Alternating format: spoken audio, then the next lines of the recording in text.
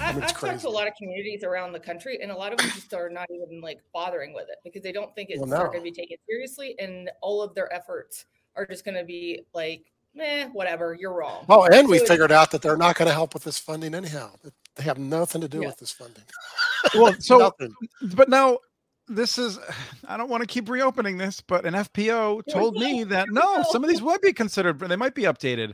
So we're trying to get a question in to the top of the fcc via some of our allies to say like definitive will someone just tell us definitively? Because like i feel like every time i get something definitive another person that's even higher ranking is like eh no actually we're going to consider them and i'm like how? It doesn't seem like that even works in your process. It can't be because the isps are out busy doing the next data input on the current that's exactly it Mm-hmm. That that's more portals already open. People are already submitting the next BDC updates, so they can't be.